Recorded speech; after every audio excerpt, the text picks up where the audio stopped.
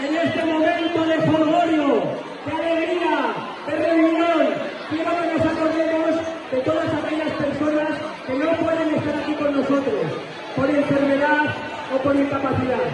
Y también recordar que llevamos en el corazón a todos los que nos faltan, los que ya no están con nosotros. ¡Va por todos ellos! ¡Viva San José!